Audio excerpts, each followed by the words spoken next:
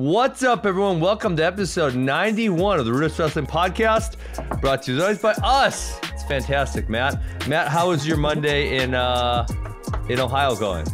It was good, man. Every every day we creep closer to wrestling season, the busier it gets around here, which is which is obviously a good thing, which is is what we want. And um, yeah, it's exciting. You know, you can sniff competition. Actually, competition started. We- That's what we're getting started. ready to talk talk talk about, right?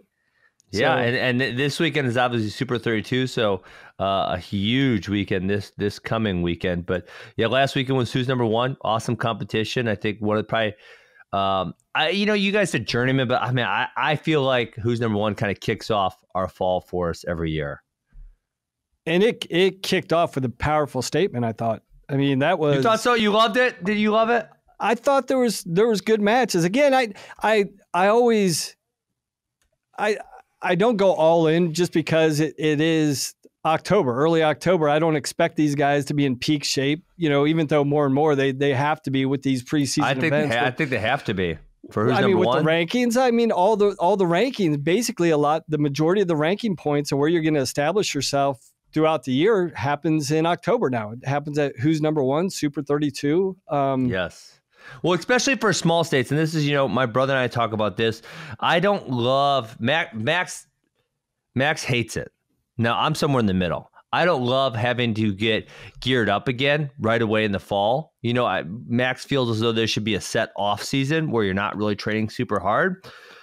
But in Wisconsin, there's really only one huge tournament, the Cheesehead, where you can get co- collegially recruited at, right? If you're in Ohio, Pennsylvania, New Jersey, you can go to Beast, Ironman, those type of things. But Wisconsin teams don't go to those. So our opportunity for our kids to be seen is is in the fall, right? Big big tournaments like Super 32, and then in the spring with um, you know, say a Fila, UWW cadets, UWW juniors, Fargo, that kind of stuff. And then obviously they're going to be wrestling during the high school season with their high school teams, so they're they're competing and training heavily then. And so you know, it may, does make for a kind of long season, but nevertheless, it's like like you said, Matt, this is where you get recruited at, especially Yeah. if you're from a small state. Yeah, I mean, uh, it it's I kind of lean on the side of where Max is at. I would love to have more of a developmental season um, for wrestling. Well, I think I'm not saying I, am not saying I disagree with his desire to have that. I'm saying I disagree with the reality of the situation. right. The the reality is it's a necessary even evil for a guy like Keegan who is wrestling this weekend, who's Yep. who's prohibited from competing out of state during the scholastic season. Yeah. You have to go where the competition is because the, the fact of the matter is rankings and results kind of drive drive the financial bottom line for a lot of these a lot of these programs. So you're you're in, in essence you're cutting your nose to spite your face if you don't want to compete in some of these the, in the Super 32s or who's number 1 and Well, a yeah, lot of I these mean- big time preseason tournaments. Yeah, and the way the way I kind of pitch it to Max is, I, I do agree. I, I wish there was a more set off season, and you know, I wish Wisconsin teams competed in a lot of those big in season tournaments, so we didn't always have to gear up for the fall stuff, right? But the way I sell it to them is like, hey, man, we've had a handful of our guys. They don't need to play super highly in a national tournament five out of five times, right? And some, I'll tell you, Peyton Mako, Peyton Mako failed like four times in a row, right? And then he he has the one breakthrough at Flo National where he takes third, he beat a couple really good guys and has that crazy match with Sammy Sasso.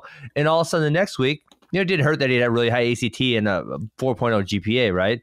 But uh, that the next definitely week helps. he's he's getting called by a whole bunch of colleges. And so it's like he had one breakthrough. Um, you know, we've had a few kids that have had that experience. So it's like you have to take opportunities. You don't know when you're gonna be injured or when you're gonna be sick. And so if you take your opportunities from say four down to one or two, and maybe in that one or two, then you get hit, uh, you know, hurt, sick, you don't have a great training, maybe you have a bad draw, whatever it is, then you're really limiting your opportunities to be seen by college coaches. Yeah, I mean the the the reality is it only takes that one result to earn yourself a ton of money. And there's there's a lot of money to be had. Even though there's not an, a, a huge number of D1 programs out there, there, that's still a lot of money. And it takes that one result to just tip the scales Yes. and, and really make your college experience much more affordable than it normally would be if you're just prohibited from competing out of state and you got to, you know, and you're, you're, you know, beholden to your state championship results. And um, because the reality is, with a lot of smaller wrestling states, there is a perception on the level of talent that's there, right? And unfortunately, there, I mean, you know, when you have Pennsylvania or Ohio or New Jersey or some of these yeah, really th- high caliber those guys, states, they don't have to compete out of season because they, they get it in season. And not not only Matt, not, some of those schools, some of those Pennsylvania, New Jersey, even if they don't go to Beast or Ironman, I mean, they just see so many tough teams on a regular basis that they're going to get seen. People are going to watch those matches. Um, and you know, I think a lot of those teams do that, but uh, do a lot of those kids do go to the bigger tournaments, but I don't think they necessarily need to. No, I think you're right, but I think for for you know some of the kids out of state, it's it's necessary. You have to. I mean, you just don't yes. have a choice, or you can, but then don't complain when you, you don't get those big money offers that you're looking for. Yes. Hundred percent. Okay. I so I think you and I are, are both on the same page there. Um, let, us talk about who's number one. Uh, it was a fun event. I uh, I love it here. I, uh, let me let me ask you this first question. What did you think about it being in Iowa City? Um, you know, I loved the the snake pit as they call it Lehigh, where it was that small area. It was kind of really, really, really compact. It was sold out, even though it was only I don't know thirteen hundred or, or, whatever the number was. Right, not a big number. With Iowa City, um, you know, you had this really big stadium. Right, it sits sixteen thousand or something, and it, they said it was their biggest crowd ever at first. Who's number one? But it still felt empty to me. What do you what do you what do you make of that? Take it, leave it. Want to move somewhere I would, else? What I would, would leave do? it. I think it's I think it's a it's a it's a special place for the athletes to compete because Carver Hawkeye sure, is yeah. one of is one of the bucket list. Like if you had a bucket list, I, I know even Pat Downey was saying, "Hey, I finally get to wrestle in Carver Hawkeye Arena." Like I, I, I mean, yeah. So I mean, for the athletes, you couldn't couldn't. I mean, it's one of a handful of places in America. Like if you gave gave the choice to an athlete, where would you like to compete? For who's number one, their choice would be, hey, Carver Hawkeye would definitely be in the top five.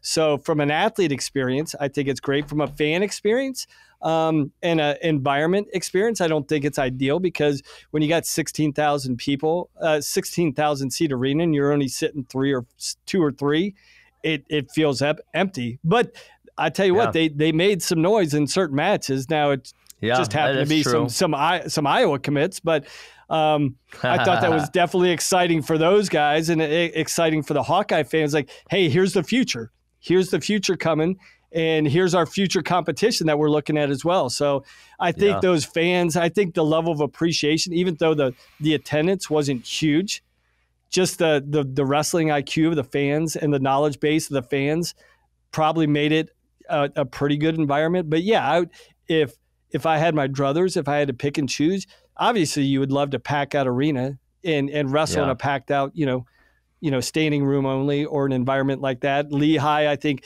even though Lehigh has Stabler, an 8,000 seat arena going into the snake pit, um, I think is always cool with a, a, a couple thousand seats packed yeah. out. And there, there was always only. a lot of lo- local kids out there too, you know, Jersey, Jersey slash PA kids, which made it fun. And, um, obviously, I, I do think to your point, I think the Iowa commits, right? I think the crowd got behind them. Um, but there was, I don't believe there was any local Iowa kids, correct? There was none. No. No. No. There's no there was no Iowa kids, period. I guess the closest you had was uh, Nebraska and and Burks, and he was uh, he's actually an Oklahoma State commit. So uh, I don't I think they were cheering for Jesse Yabar in that match. Yeah, yeah. Um, okay, let's go through these matches. Um, I will. I'll be honest with you. I watched about eighty percent of them. Um, my dad had a wedding, so I was kind of well. Luckily, my son fell asleep in the van, so I had a, I had an excuse to stay out in the van for a few extra minutes and watch a couple matches. Um, now, did your dad actually get married in Iowa? No, we were not in Iowa. We no? were in uh, okay. western Western Wisconsin, kind of in the, in the middle of nowhere. Now he lives so, in Iowa now, though, right? He he's they're they're moving now. Okay. Um, yeah, I yeah, was so wondering. We didn't we didn't really catch up. I'm like, you would have been in Iowa, just not in Carver Hawkeye. Yeah, yeah, Yep. No, we we were in western, middle of nowhere, western Wisconsin. Gotcha. Um. Okay, Jesse Mendez, Ryan Jack, uh, good match goes down to the wire. Uh, wins on a last second. I guess debatable call where a lot of people thought this maybe should have went two and two. I watched it. Um, I could see it either way. I, I, I could see two and two. I could see two for Mendez, uh, like it was called. I'm, I'm not super passionate either way. Uh, how do you feel about that call and, and the match? Yeah, I mean this this goes back into the discussion about the relevant uh, the the relevance of this event, and when the when the ranking is on the line, you you want to make sure the calls are right, and when the stakes are are this high, and there, there are stakes here, even though it's exhibition per se. Um, mm-hmm. But yeah, you would like to make sure that you've got some really high level high level officiating, and I think they had some decent officials out there. Um, but yeah, you hate to see. I mean, the balance of a match like this come down to a subjective call. Um, what do you do? You think? Two, where would you want with the call? Um, I thought it, I I would have gone. I would have said it was the right call, but I could see where it could have gone two and two as well. Um, mm-hmm. So yeah, I mean, it's. I wasn't. I, will I'll have to be honest. I wasn't as heavily invested. in it. I watched it because I know we need to discuss it. I like yeah. to see. I I you know, more or less at this time of the year, I, I still fall into where I am, where I used to be as a college coach, and how I evaluate things during the mm, preseason. I don't put I don't put strict, you know, allowances on on what the result is. I kind of more evaluate on on what I'm seeing from the skill set of the athletes yeah. and some of the takeaways you can get there. So, you know, obviously these are two high level guys. It was it was a great match. I mean, and, and yeah. that's that's the unfortunate thing that it came down to a subject subjective call. Um, but and and case in point, in a lot of these guys like Jack will be around on the East Coast wrestling high level guys. I don't know how much Mendez will get out of state. And so I believe guy, Mendez is going to, I believe both these guys are going to Super 32 this weekend. How do I check that? Uh, I think it might have been a full. I'll, I'll, I'll, get an answer for you. I think they're both going Super 32 this weekend, which makes it fascinating. Yeah, um, so that's that's kind of what's potentially fascinating that that we could actually have a rematch of some of these matches, you know, one week later. Yeah, that's that's crazy, crazy turnaround. So obviously, you know, Keegan didn't want to do a turnaround because he would have to wrestle a different style. Uh, you know, he did a freestyle match and a turnaround, be doing folk style. Which these guys did the same thing. Well, I, I don't know. Now, don't did, quote me on that one. I'm gonna try to search these entries. Um, now let I'll, me I'll ask you. I know there there was a there was some some freestyle matches, some folk style matches, um, some modified freestyle. I think modified was that. Yeah. Well, what did you think the, about the that? Downey match? The Downey match. Um, no, no, no, no, no. Let's let's. I'm gonna save that for later. What did yeah, you think okay, about? I was gonna uh, say. What did you think about specifically um, some freestyle, some folk style? I liked it. I liked it. I'm, a, really? I'm all about just good wrestling. Um, now, I'm sure some diehards would say, "Hey, freestyle is over. We're into folk style season. Everybody should be wrestling folk style." How did they actually present it to the guy? Did did Keegan so I have guess, a choice? From what I heard, the number one guy got to choose. Whoever was gotcha. number one okay. got to say, you know, we want to do this or that, and then the number two guy would have to accept. Um, I, I didn't love it, Matt. I thought, um, you know, the the even just me, right? The thought process of having to change back to what I, back and forth from what I'm watching. Am I watching freestyle or folk style? And every every match, you know, a lot of the matches change. And then the second thing is like, look, I love freestyle. I love folk style also. It's folk style season. Let's do folk style here. If you wanted, if you wanted to say, hey, let's do a let's do a freestyle. Who's number one? Man, I don't hate that idea. I'd watch it. No. I, I, I, would enjoy it. Uh, but if we're gonna do who's number one in October, and we're done with freestyle, let's let's just go folk style. Let, us kick this thing off right. All folk style matches. Um, so I would actually vote against if I if I get a vote, which I don't believe that I do get a vote. If I get a vote I'm going to vote for the fact that we just go from now on, uh, just folk style. I, I would be fine with that. And I think that's actually a pre- probably a pretty good idea. Why don't we do a who's number one in freestyle? I think there's plenty that, of that'd be fun. guys that would be all about it. Um, yeah, do that. So I, I'm interested to, from Keegan and Gallagher's perspective, like why why did Keegan feel like he wanted to do freestyle? Obviously, it turned out to be a really good choice on his part. No, no, um, Gallagher was the number one. Oh, Gallagher. Remember, yes, that's that's the thing. Why would I mean? Because Gallagher's a good folk styler. I'm interested to. I wonder what his logic or his rationale was for actually choosing to wrestle freestyle. Yeah, I mean, I, I would guess. Listen, I, I didn't talk to Patrick Gallagher. I would guess he thought, you know, Keegan was more dangerous, and, and Keegan's dangerous everywhere, right? But Yeah, he would say obviously. this the scrambles are more effective in folk style, and he's also a really good rider um, in folk style. So I would say maybe Gallagher thought that you know he had a, he just won Fargo obviously a few months ago, so maybe he thought he was going to have more success in, in freestyle. Well, I would turned guess. out uh, Keegan's parterre game is uh, pretty on point. It looked like, Yeah. right? yeah, we, we've been working on that that position. Daton Fix is so good there, obviously. So we've Yeah. been working on that for like two years with not obviously not only Keegan but our entire team. And Keegan's gotten really really good at that leg in, hop over, uh, attack the bar, and then I you know it crosses over to folk style as well. Also, right? Um, Yeah, without same type of position.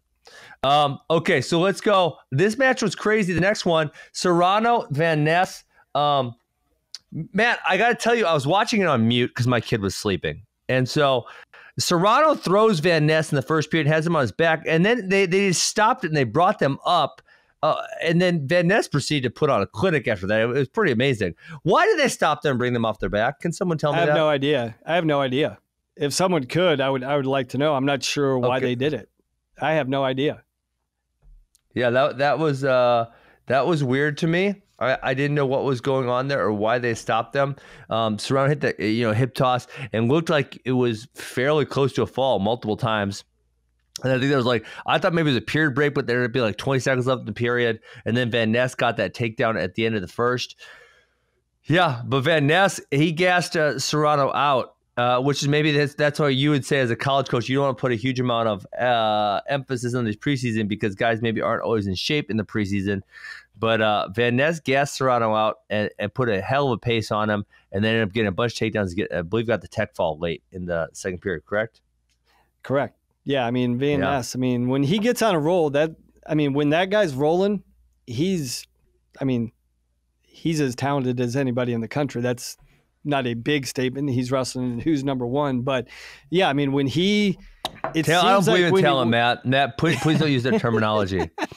hey, you want to hear something so funny?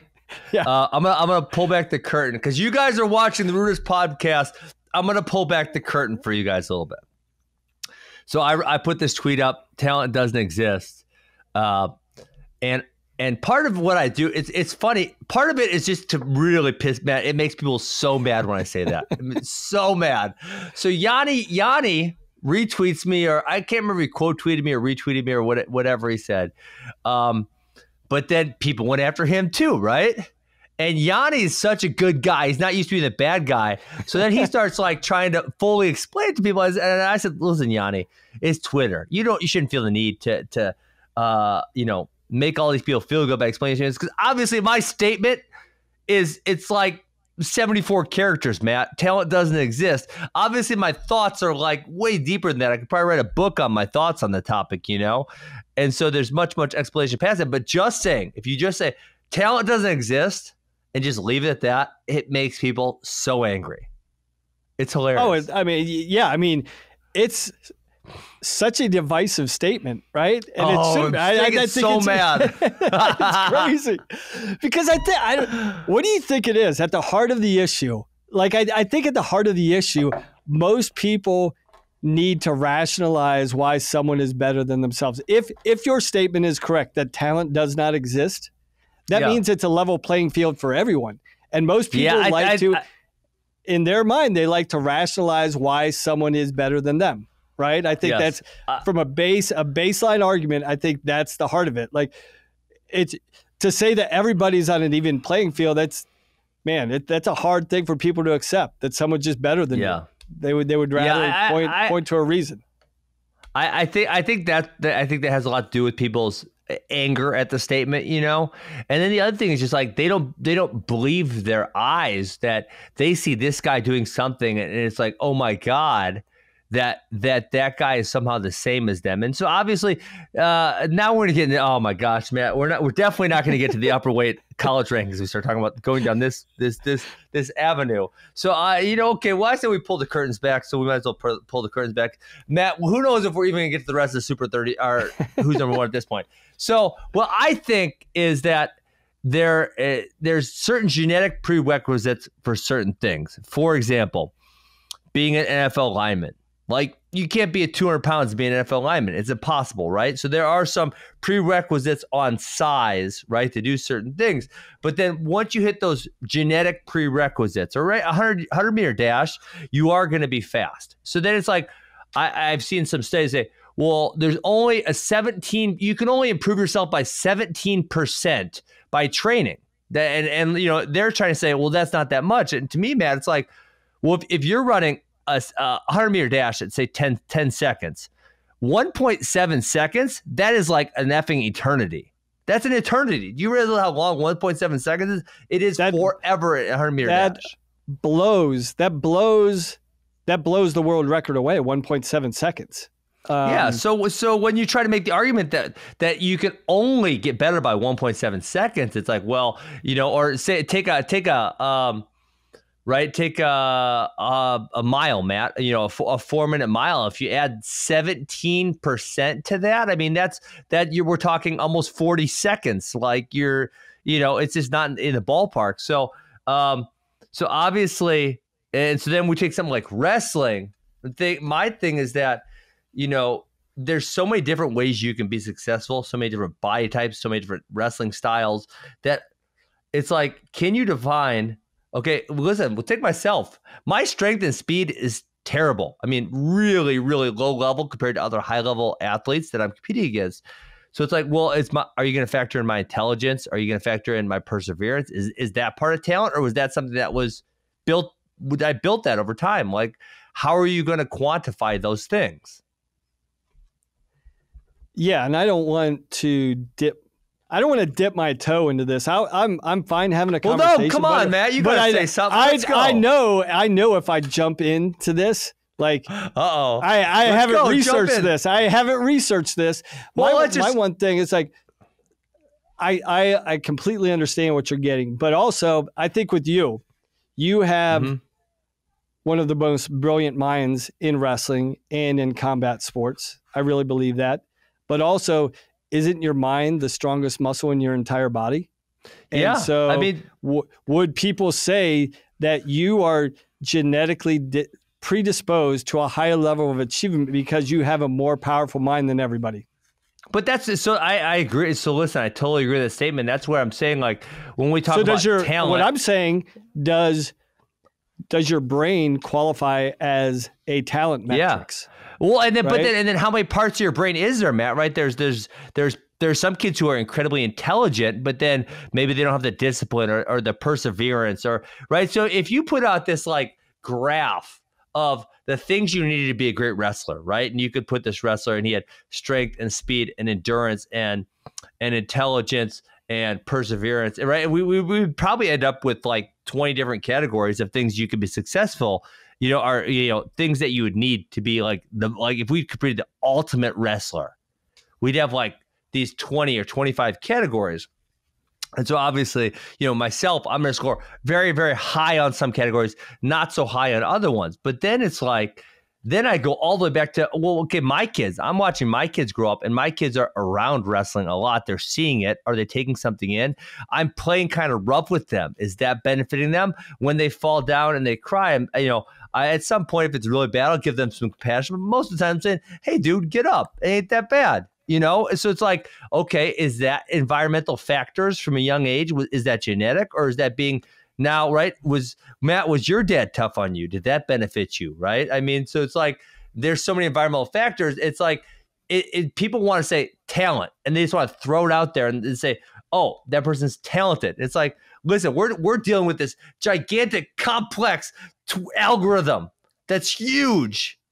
The environmental factors from the time they're six months, six days old, right? And now you want to tell me, oh, it's just talent. There's talent. There's talent. No, I like, mean, because if, if not you, I'm not it, saying you. I'm just saying the people on Twitter.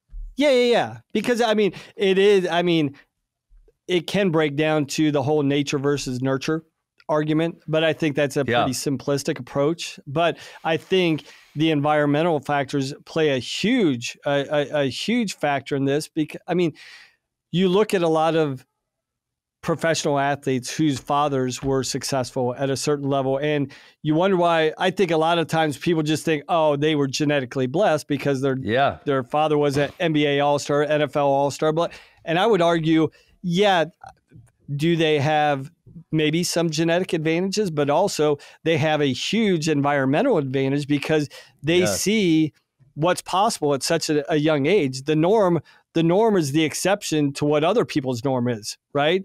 If you put yes. yourself on, on an NFL sideline from the time you're you're five until you're 15, if your dad has an NFL playing yeah. career of 10 well, years. you know, Matt, let's talk about let's let's use uh one of your one of your buddies that doesn't believe in talent, Tommy Rowlands.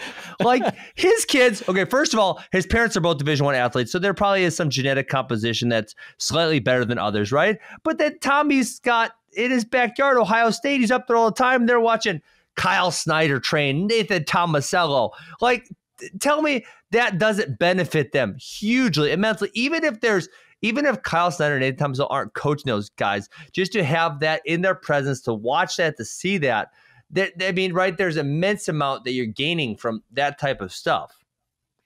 No, I mean, I always tell people when you know, I had two older brothers that were really good at wrestling, and they won multiple multiple state titles. And so, just by observing them, I was naive enough to think, well, yeah, I'm going to win three or four state titles, easy. That's just what I do. yeah, that's just no, what I do, right? It's just yes. it's just the standard that that's just what you're supposed mind, to do, right? That's what I'm supposed to do. Yes. If I don't do this, I'm I actually, you know, failed in essence. In my mind, I, I rationalize like if I don't do minimum what they do, it's a, it's yeah. a fail. I should do more because they actually had the hard part. They had to blaze the trail for me. And so I had Seriously. a much easier time being successful because I got to see and witness everything that they did on a daily basis from a young age. And so when I went yeah. in there, you know, and then you just automatically absorb different traits and different mentalities and, and different approaches that are outside of what you're genetically predisposed for. My mind was expanded to a, a level that others others aren't. You know, and you, you look at I, even uh, in our neck of the woods here, you know, St. Paris Graham, they're going on. I think they're on the verge of winning yes. their twentieth state title. And well, Matt, Matt, guys, Matt. The, the only reason that is is because kids in the St. Paris Graham district are born different. They're born to do single legs and chops, right. tilts. Right. That they're born that way. They come out of the womb, they're shooting single legs, chop tilts, and St. Paris Graham is exceptional in that way because they birth kids who do that stuff. Yeah. Right. How are you supposed to beat them? How are you supposed to beat them when they got those? It's impossible, right? Yeah. The genetically come out of the womb just chopping out of the womb chop, tilt, I mean, out of the whoop. You know, I mean, Ben, as much as you've talked about this, you know this is a book, right? The talent myth. That's what you should call it. oh, the talent well, myth. Well, there's you could definitely there, write a book about. It. I it. think is there a book called the talent myth? So the one the one I love that I I would point a lot of people is called the talent code, and um, right. Daniel Coyle, he's one of my favorite authors. And it, to me, it's like you know, you it's essentially he picks out these talent hotspots and he talks about a lot of things. And, you know, you brought up Graham in the same pair as Graham, maybe on a lower level because, well, now they're heavy, they are having guys win NCAA titles, uh, many of them.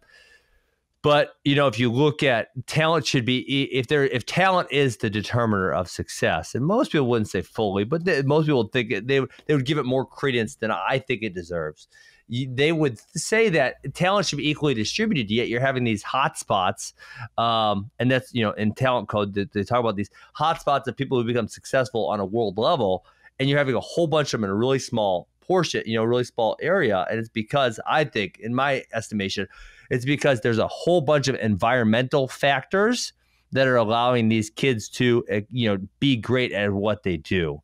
And I think if you look in any field you're going to find the same thing.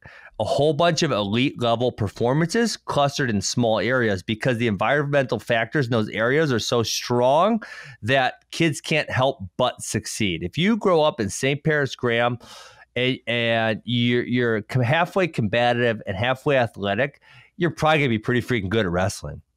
Yeah, without just, a doubt. I mean, what it is.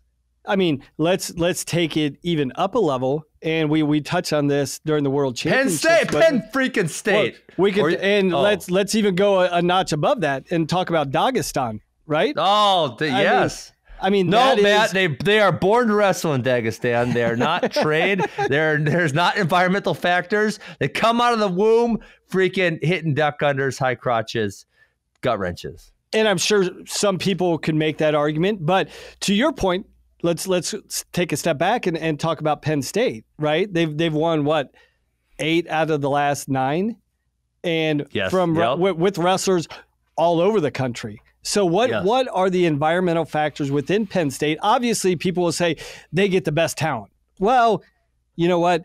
There's a ton of really high level talent that goes elsewhere and doesn't succeed at the same level that Penn State's been performing at for the last decade. And so, Yes. what are That- the environmental that's, that's the factors argument right there. with with within the program because they're coming from all parts of the country, right? I think Cael, one of Cael's biggest one of one of his biggest decisions to go to Penn State, the concentration of high level wrestlers in the state of Pennsylvania is there, but he's also pulling from around the country. So But why what's insane about that, Matt, is right now Iowa has more Pennsylvania starters in their lineup than Penn State does by a long shot. That that that blows my mind actually. And high level talent, but they haven't won a national Yes. title. So But that's that's their biggest threat right now. I the biggest threat to it's, it's so funny what you said there because the biggest threat to to Cael right now is Iowa, and they're doing it by getting Pennsylvania wrestlers out from underneath Cael's thumb, which should be Ka- one of Cael's greatest assets. It's hilarious to me. Yeah. Yeah. I mean, it's We're- it's a fascinating. I mean, it's a fascinating argument, fascinating discussion, and yes, that's that's now we're way off topic. Now, now we're talking about the national. Man, we got from talent to the to the national team race in about twelve in about twelve minutes. yeah, Wow. to Dagestan Hey, we need and, and uh, parts And unknown. Dagest- so yes to Dagestan. Okay. Hey, we need to get back. We that was that was funny. We need to get back on who's number one, or we're never going to finish, and we're definitely not going to get to the upper weights today. We're, we'll talk about them another time. Okay, J- Jesse Ibarra, Jason Burks. This is Iowa versus Oklahoma State commits. Um, really high level match. Ibarra pulls it out at the end. What do you want to say about this match?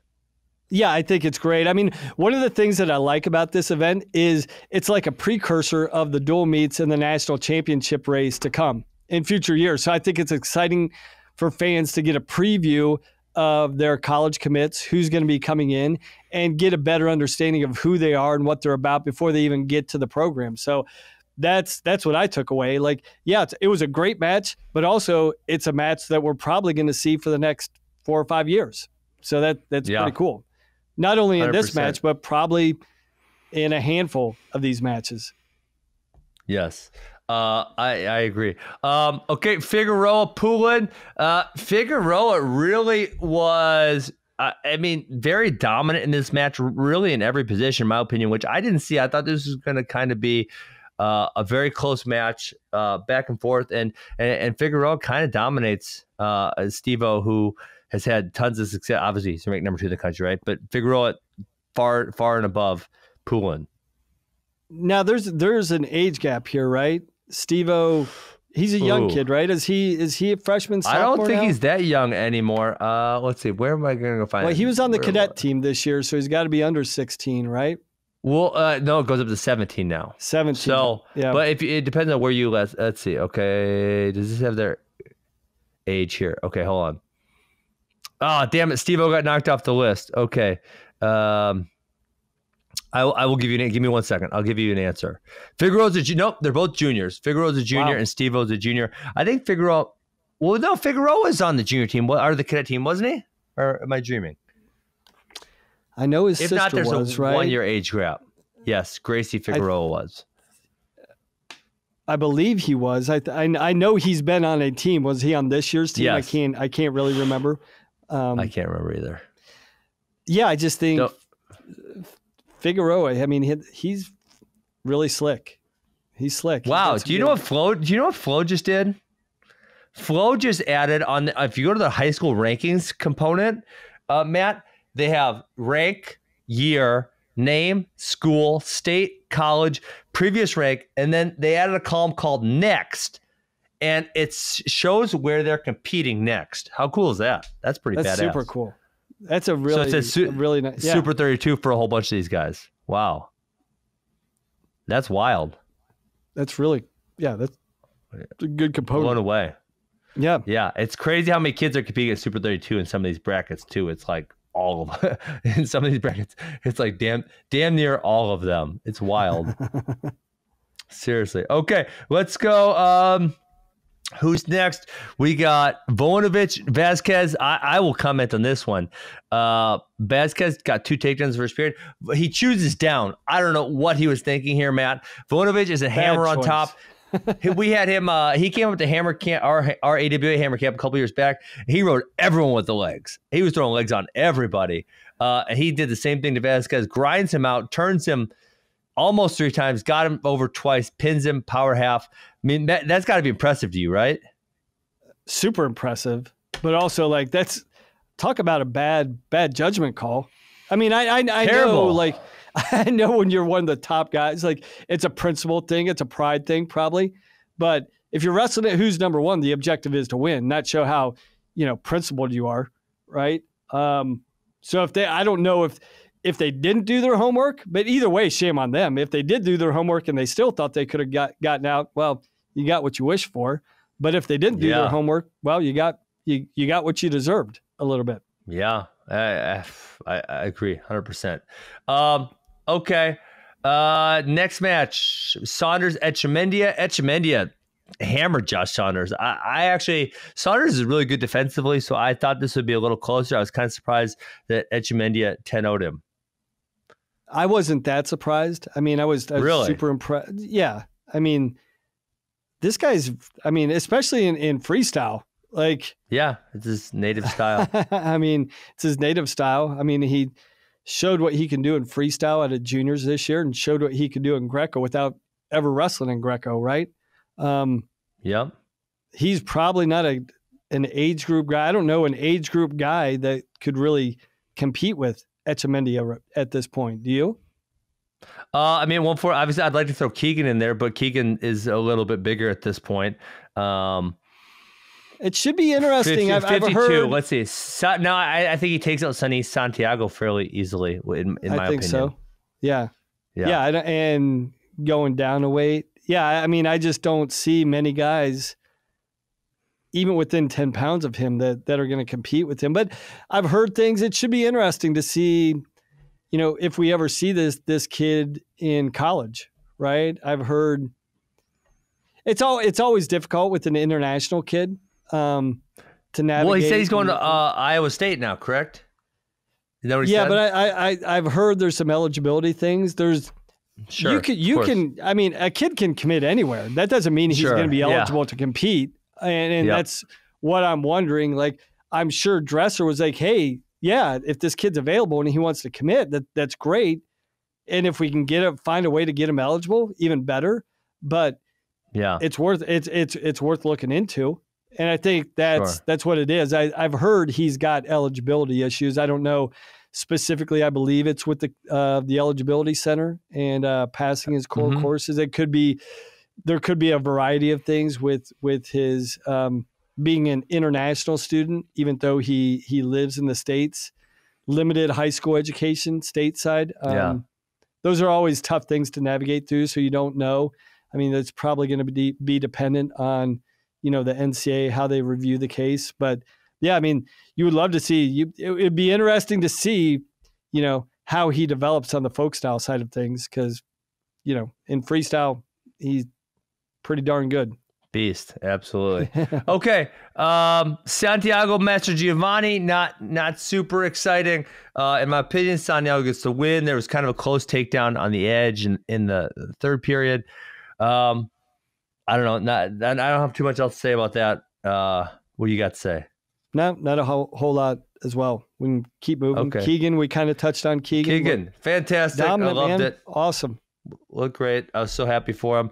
Let's let's no, keep going. I guess my I uh, guess my only argument here, Ben, would be: yeah. Are you really gonna? And and believe me, I I believe Keegan's, you know, deserves a number one ranking. But I, am sure yeah. there's some people out there that would argue it's like, well, no, are you really going to give him the number one ranking based on a freestyle result?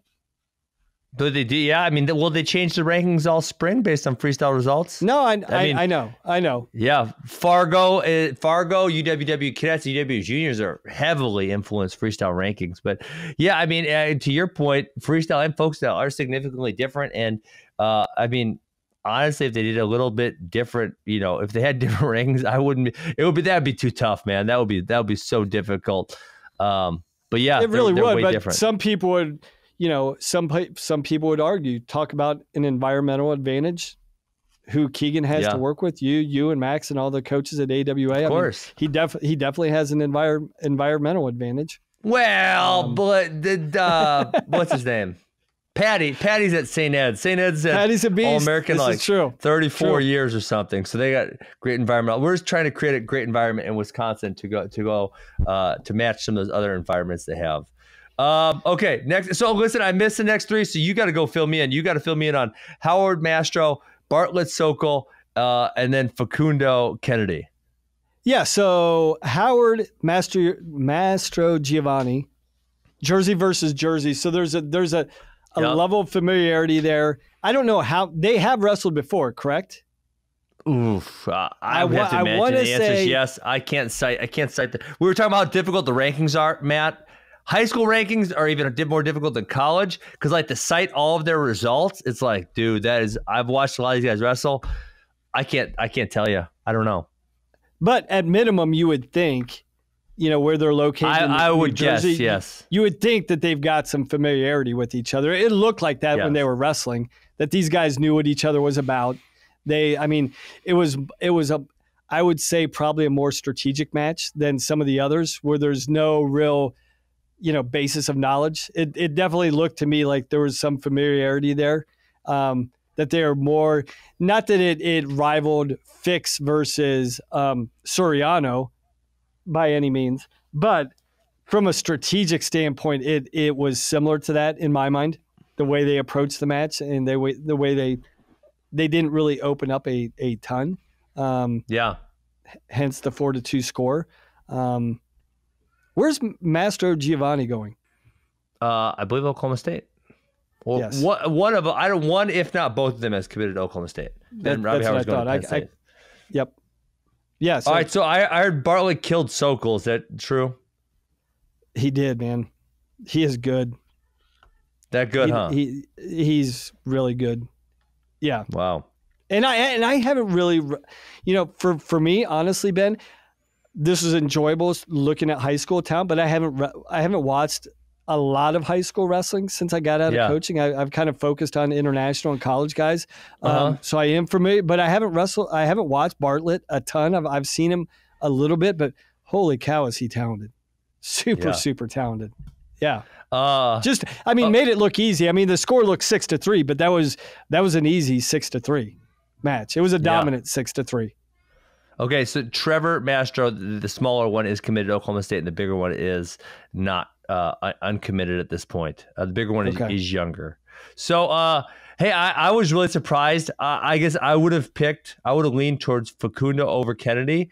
Um, Kennedy's future Hawkeye, obviously, and and controls two takedowns to zero. Uh, controls Facundo, right?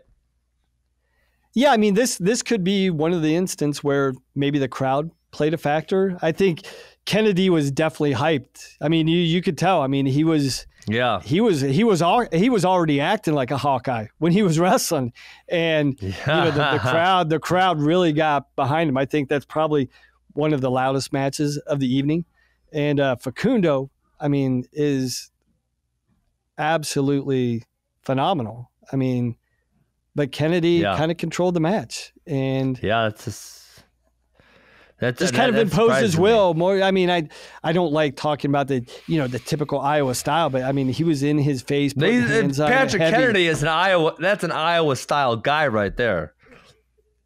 Yeah, Absolutely. to a T. I mean, there there was some heavy, heavy hands going on in that match. Yeah. Okay. Uh, two left. Van Ness wins his second match of the night over Jesse Mendez. I thought he looked great. I, th- I think he is. Van Ness is very, very impressive. Um, Anything else you want to say about him? I mean, you you already doted on him quite a bit. You think he's a stud? Yeah, I think he's one of those guys. I mean, when it, it's he's one of those momentum guys. It seems like obviously he's he's super high caliber from a wrestling standpoint, but it seems Yeah. like this is one of those things that that it would be interesting to talk about at a certain point, like momentum. When you get that wave and you, when you're in that vacuum of momentum, he's he's one of those guys. When he's got momentum on his side, I just nobody can beat the kid. I mean, he just Yeah. he just gets on a roll and you just see like the level of belief when things are clicking for him it just seems like yeah, it's just all about belief and you know we can talk talk about that word and put it on the sideline talent it doesn't even matter he just just the level of belief and conviction that he wrestles with is is really really impressive Yeah, I, I agree. Okay, last one. Let, us we're, we're at 45 minutes right, Matt. So we're going overtime right now. Um, we can give this one five minutes No, listen, I didn't like it. I, I'm out on it. Here, here's why. I'll tell you why I'm out on it. And I texted the Flo guys and told them I thought this was a bad, bad one by them. Um, this is who's number one. This is, I, I believe, in my opinion, the most prestigious high school event to get invited to and to wrestle at. I mean, this is a big deal for these guys. It's all ones versus two, besides the four man bracket at 132. Um, so you bring in Pat Pat uh, Downey, who's a who's a number one guy, but then you're bringing this guy Nicky Rodriguez, who is you know has no collegiate accomplishments to speak of, and yes, he just took number two at ADC, ADCC, which is a very prestigious grappling tournament, but it was grappling. Matt wasn't wrestling. There was no submissions in the rule set. You could he couldn't submit Pat Downey. It was a glorified wrestling match. How is a guy who has not had any collegiate success in wrestling going to beat Pat Downey? It's just not. It's freaking ridiculous. It's just not going to happen. It's absurd, Matt. I didn't like it. i'm with you and i'm not even gonna get excited because I, I just thought it was You're a foregone get- you're not gonna conclusion get I mean, pissed off like me. I'm not even going to get pissed off because I mean, if you look at the guy, if you look at Rodriguez, the guy was a D three wrestler, and I don't, I don't think he even, Yes. he, I, he never placed. He was never even an No. All American D three. So, yes, I don't care if he has a thirty pound advantage. He's wrestling one of the wrestling, wrestling one of the best guys in the world, and I get And what yeah, Flo, he- I get what Flo Ah. is trying to do. But if you really want to make the match interesting, and if you're Pat Downey and you, you're touting, Yes. I'll go anywhere, anytime, any place, wrestle Yeah. anybody. Hey, if you knew you were going to tune this guy up, that was no surprise. I'm surprised Yes, he throw, didn't tech him throw some submission. Throw some Yes. submission in there, man. Let there be some way where this guy can submit him. right, make it a grappling match. This is this is this, Yeah. I mean, the guy's a Or- wrestler, or- but he's not a high level Yeah. wrestler. He's a grappler. Or maybe two different periods where you do wrestling one period and grappling. the same. Give the other guy. Listen, this guy had zero chance to win. Zero. Zero. Gi- give Zero. The, That- give the dude some chance to win. Yeah. Give him a choke out or a submission, a fighting chance, just like in boxing, Yes. like with with McGregor and Mayweather. At least you have a fighter's chance. At least you can punch the guy and knock him out, even though that, there was Yes. a, a very small likelihood of that ever happening. At least give a give a guy a puncher's chance, a fighter's chance, a submission Give chance. give him Something. Some type. Yes. Give him give him Yeah. something. He had nothing. All He had nothing. I mean, this is not a super match. No matter This is how Flo hyped it, that was not. And I get it. You know what? I I like that they're introducing, and I think there's a you know there's a growing audience for the world of grappling. I think that's great. Why don't Yes. expose people to grappling instead of exposing them to Yeah. what they already know? I, I mean- agree. Or give the guy give the guy some chance to win. Where you yeah I yeah you're right. I'm done. I'm done here. Uh, I loved the most things Flo did. I thought this one was a miss though. That's it. Yeah, I mean, if you're really, I th- I think it it kind of in some ways discredited the sport in the discipline of grappling. It's it's different yeah, yeah than wrestling. that's true. There's similarities, but I think they did it a dis- disservice. They were trying to promote grappling and expose And- it, yep. but they actually, I think they hurt it in the process. Sure, that's that's that's absolutely fair. All right, uh, that's it, Matt. So hey, listen, we've been trying to talk about college upper weights for two days now. Next time we get on this podcast, we're just going to go straight to the upper weights, uh, give them a preview. Does that sound fair? It sounds good. We've been teasing teasing too long. Let's jump into college. All right. Next time, that's what we're getting into. Peace. All right.